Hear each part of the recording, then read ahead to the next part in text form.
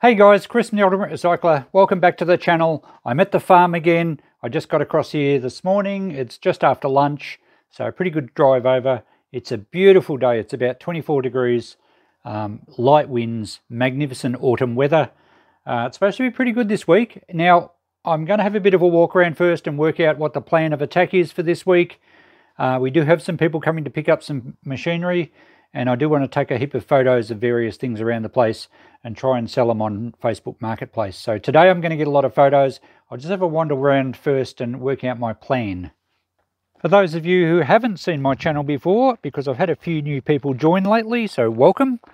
Uh, this is part of an ongoing series of cleaning up my parents' farm. We have been selling a lot of old machinery via eBay and via Facebook Marketplace. Uh, Mum and Dad are still living on the farm here. This is where I grew up. And uh, they've sold the property to the neighbour, to Ross. And he's been doing a lot of improvements already. And Mum and Dad are allowed to stay here as long as they can. And in the meantime, I'm helping sell off a lot of stuff just to clean the place up. So a lot of this fencing wire was sold previously. These things are waiting to be picked up. All this poly pipe I'm actually going to put back on Facebook Marketplace just for free I did try it, I think, at $20. We had no takers. I'd rather give it away than throw it out. And that's the ultimate plan of the ultimate recycler, is to repurpose, to give away, to sell for scrap, or to repair and reuse anything at all except going to landfill. Uh, these sheets of galvanised iron I have sold. Um, we've cleaned up some of the other stuff here. There's some spare pellets. So we're starting to get organised. I'll have a look in the barn and see what we're up to there. So we're pretty organised in the barn. There's a little bit of stuff uh, from Ross has been doing some electrical work around the place, so he's starting to put some of his things over here. Uh, there's some old timber that can be burnt in old cardboard boxes once the weather cools off a bit more. And there's a fair bit of uh, wool that has to be sold, so a little bit of stuff there to go. Those seats are being picked up hopefully this weekend or this week. And a little bit of sundry stuff I've just got to tidy up. We might wander down the machinery graveyard because I'm going to do some photos down there and we'll start looking at maybe which shed we can focus on next now that the barn's pretty much under control. Okay, in the machinery shed here we have, uh, there's a grain cleaner dad made up from the top of an old international harvester. Uh, it's all welded up on a frame there. We might try and see if we can sell that. I don't know if it's going to be worth much. Behind it is a a Sunshine HV McKay Reaper binder, which uh, is an early piece of equipment but has been used in more recent years to make sheaves from wheat stubble. Uh, that's possibly a collector's item, but I don't know if anyone's going to really want to buy it and use it these days. There's the old ride-on mower here with a trailer. We'll leave them at this stage because they're still useful. This grain bin is one of the ones we sold recently on Facebook. And this truss here we sold uh, I think on eBay on the last batch. So the main tractor, the Chamberlain 4080B, we will probably be selling fairly soon because it doesn't really have any use here anymore. And the little Fergie tractor, Massey Ferguson 65, I think it is. The bonnet's off it at the moment. I'm not sure why the bonnet's off it. Uh, that still goes very well, so we'll probably sell that soon. Dad has hooked up this old roller mill, which he got many years ago from a, a local farmer uh, I don't know. I think he's used it. I'm not sure if he's used it or not. It's a pretty cool piece of equipment. It's a nice early one. I think it was possibly made in Ballarat. Nice timber work. It's been always shedded, so it's in pretty good condition. It's on a little bit of a homemade trailer here, which actually uses, I think Dad said these were Bren gun carrier wheels from World War II. Solid rubber, really solid cast iron wheels. So they're pretty cool in their own right. I don't think we'll sell the trailer with this roller mill. I think it can, well, it's on a kind of a timber sled, so I think it's just the trailer's handy for moving it around. But you can see those wheels. They're great old wheels. I'd like to take them back. Uh, so that's been moved because it was a little bit bogged in the back of the shed here. It's been quite wet and I think the, the thing just sunk into the mud. There's some old crop lifters in the corner. They're probably only scrap metal. Old window frame various guards off machinery. Looks like an old water pump in there. Uh, the tubular sections, I believe, are legs from a table tennis table. They're only aluminium, so they'll just be scrap. So just a lot of sundry is not really worth very much at all. Some of it will go straight to the scrap metal pile. There's some more guards off, probably a header, little bits of wire, just junky stuff. That tractor tyre actually goes with another tractor that's not here at the moment. It's down on the saw bench. Uh, so we'll probably sell that one as well. And some of these old doors will just go to a firewood pile. So this shed shouldn't take very much to clean out.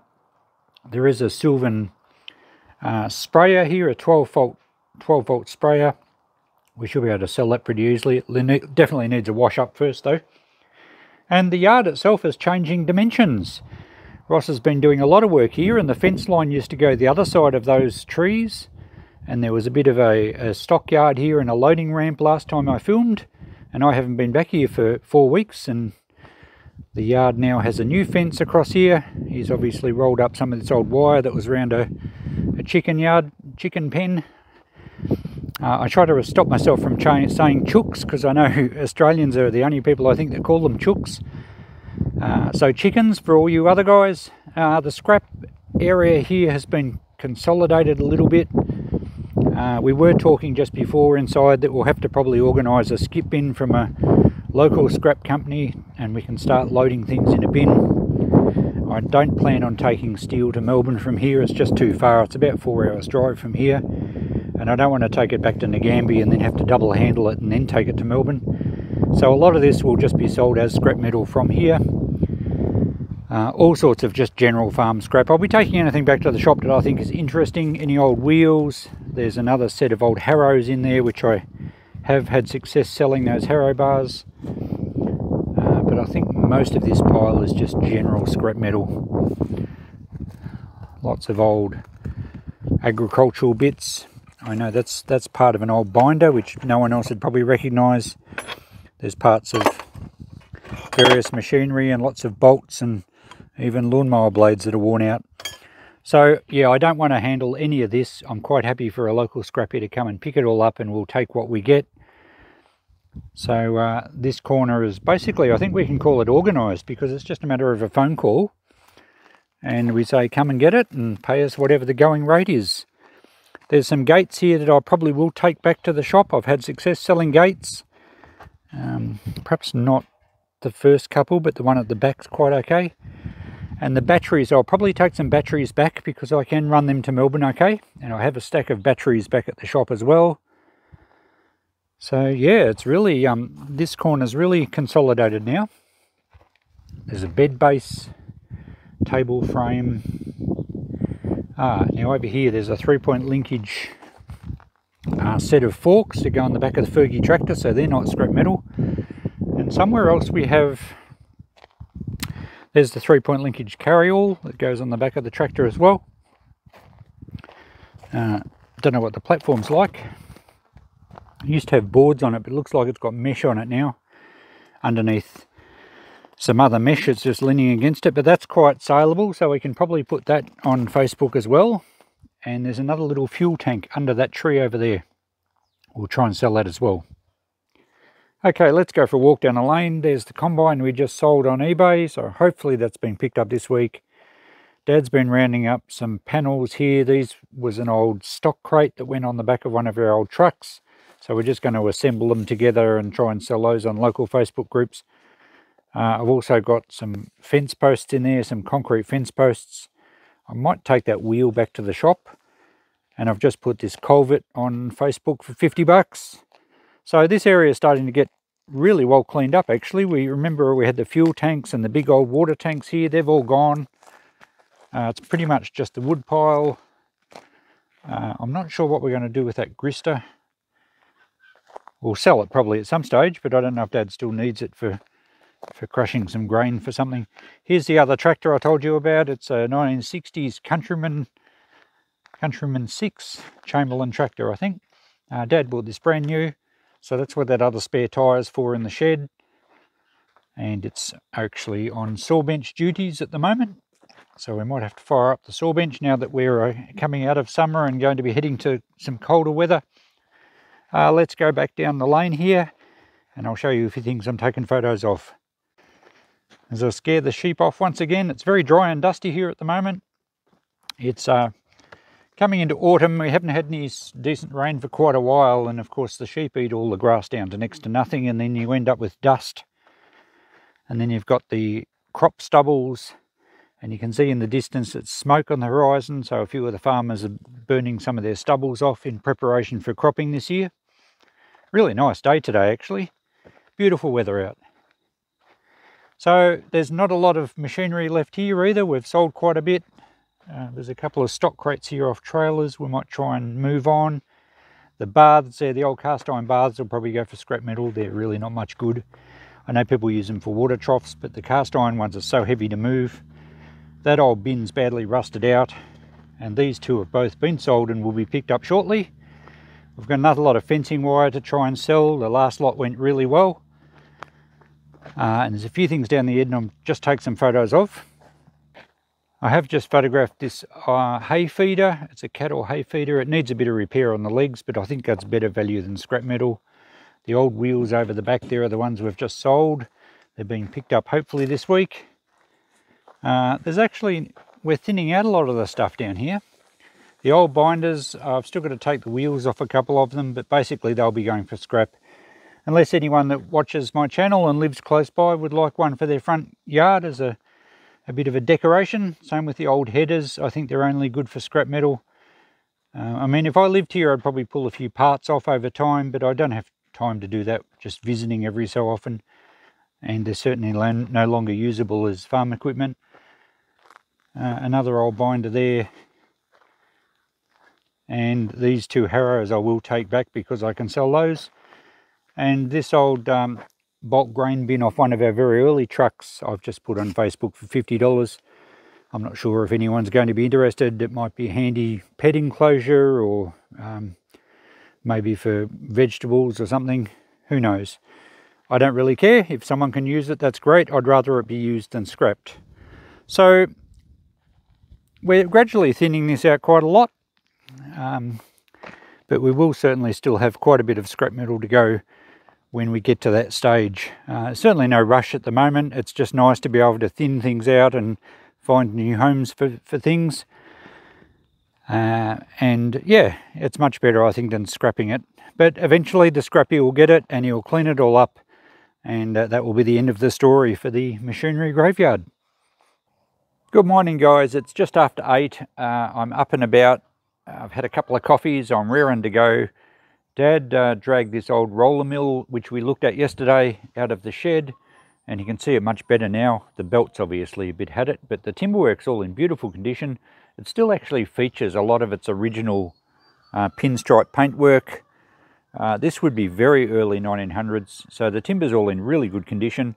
I believe it is operational, uh, and we'll probably put that on eBay, I think. I don't know how you would price something like this. Look at the, they really took pride in their um, creations back then. So it's a lovely piece. It probably should be in a museum somewhere. I don't think it has any local history as such. Uh, and I said yesterday I thought it was made in Ballarat. I can't see a brand on it, but I think it was a Jazz Smith piece of equipment made in Ballarat. Uh, I think they made chaff cutters and all sorts of other early agricultural implements. So yeah, even the, the rails at the bottom here, I would imagine not many have survived in this condition because sitting in sheds they would have rotted away. Uh, this one would probably clean up really well. Uh, anyway, we'll probably put on eBay. I have no idea what to sell it for. We may start it at $500 and see what happens. So I'll take some photos of this before I go this week. And the little trailer with the military wheels, I'll have to work out what to do with those. I don't know if the wheels are actually on their original axle or whether it's just been fitted to something.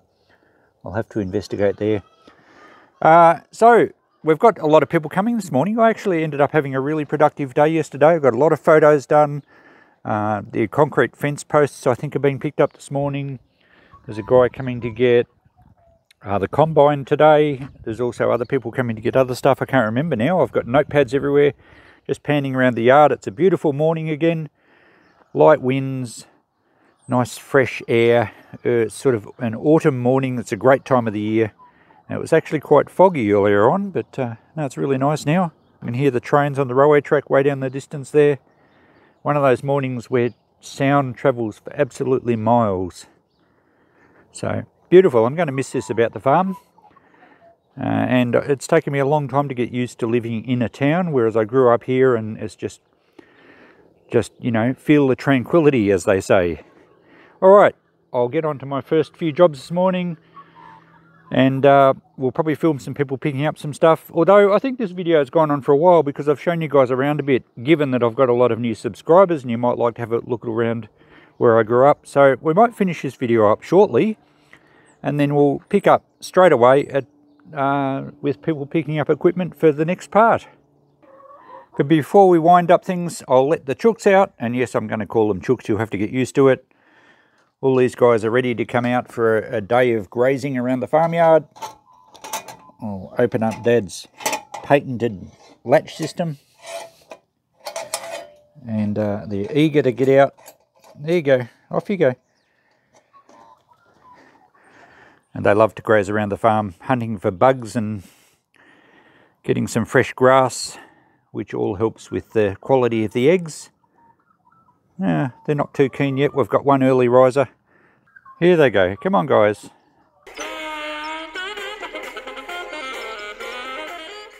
Whoops, that's all I can play with that. Got to watch those royalty issues. Okay, have a great day fossicking, guys. Enjoy your bugs. Alrighty, we'll finish up this episode now. Thanks for watching episode 11. We'll be back very shortly with episode 12. We'll continue on. We've got more pickup to do. We've got more treasure hunting, get some stuff in the van to take back to the shop. Catch you in the next one. Thanks for watching. Bye for now.